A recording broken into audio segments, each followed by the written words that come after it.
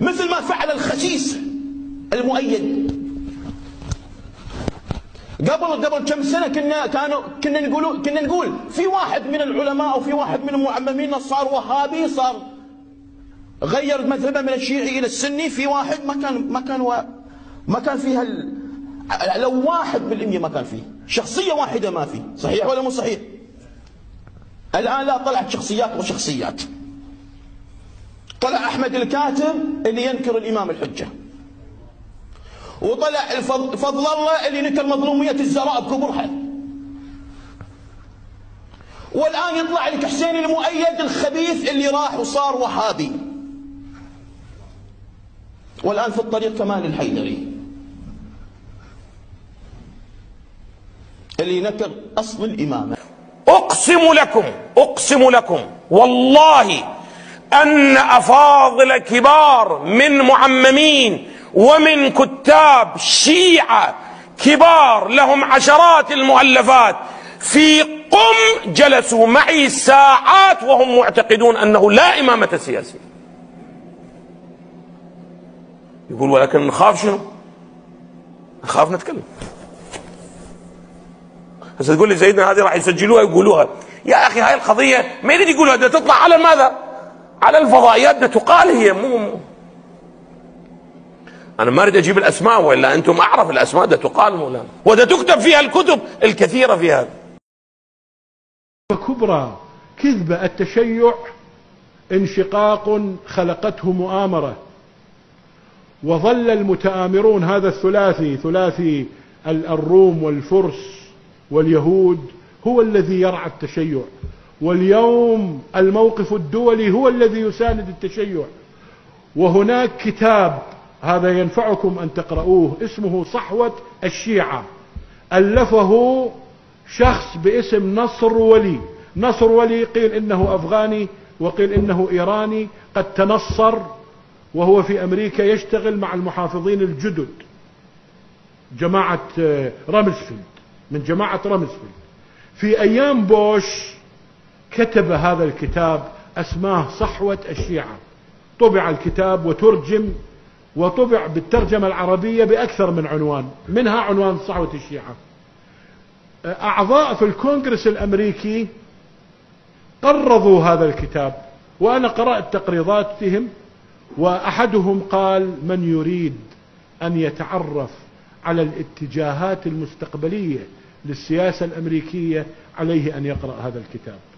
وهذا الكتاب إن قرأته ستجد خلاصته الآتي.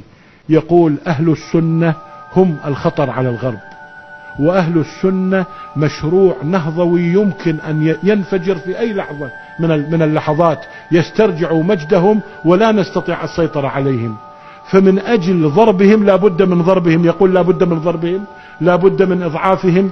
ومن أجل ذلك يجب علينا أن نخرج الشيعة من القمقم ونخلق كتل سياسية دول شيعية في وسط دول أهل السنة كي نمنع تماسك الدول السنية وكي تبقى هذه الكيانات الشيعية مصدر لضرب الاستقرار في الدول السنية. هذه هي سياسة الغرب. اليوم التحالف أنا أسميه تحالف الصادات الثلاث. الصليبية والصهيونية والصفوية. التقت مصالحهم ضد أهل السنة والجماعة. وهؤلاء الغرب يرعى يرعى التمدد الشيعي. اليوم أي عمل دعوي بسيط يوصف بالإرهاب إذا كان من أهل السنة والجماعة. أي عمل خيري يمنع. أراد أهل السنة أن يفتحوا مدرسة في أفغانستان فمنعتهم أمريكا. وجاء الخامنئي وفتح جامعة كبرى في كابل السنية التي ليس فيها شيعي. جامعة كبرى وأجيز. الغرب يرعى التمدد الشيعي ويريد لهذا التشيع أن يمتد لأنه صنيعة هؤلاء أصلا تاريخيا. هؤلاء يرعون صنيعتهم هم صنعوا التشيع. وأرادوه أن يبقى إسلاميا يعني أن وإلا هم صنعوا البهائية. لكن البهائية تسأل البهائي تقول له أنت مسلم؟ يقول لك لا أنا مش مسلم. لكن هؤلاء الشيعة أرادوا لهم أن يقولوا نحن المسلمون نحن جزء من هذه الأمة كي يستطيعوا أن يلعبوا الدور. ولا إذا قال أنا نتمنى أن الآن يعلن مراجع الشيعة ويقولوا نحن لا علاقة لنا بدين الإسلام. العلويون في تركيا أعلنوا ذلك وقالوا للحكومة التركية آه، تعاملوا معنا كدين آخر. إحنا قالوا لهم نحن لا نعترف لا بالقرآن ولا بهذه الأمور كلها لا نعترف بها. تعاملوا معنا كدين آخر. هذا يريحك جدا.